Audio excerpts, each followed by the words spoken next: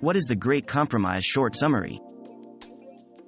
Their so-called Great Compromise, our Connecticut Compromise in honor of its architects, Connecticut delegates Roger Sherman and Oliver Ellsworth, provided a dual system of congressional representation.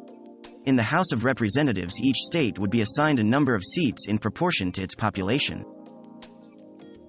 What is the Great Compromise in simple words?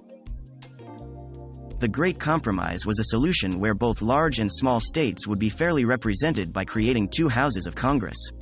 In the House of Representatives, each state would be assigned seats in proportion to the size of its population.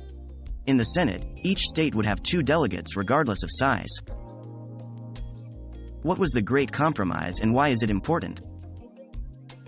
The Connecticut Compromise, also known as the Great Compromise of 1787 or Sherman Compromise, was an agreement reached during the Constitutional Convention of 1787 that in part defined the legislative structure and representation each state would have under the United States Constitution. What was the purpose of the compromise? The Compromise of 1850 was a series of measures proposed by U.S. Senator Henry Clay and passed by the U.S. Congress to settle several issues connected to slavery and avert the threat of dissolution of the Union.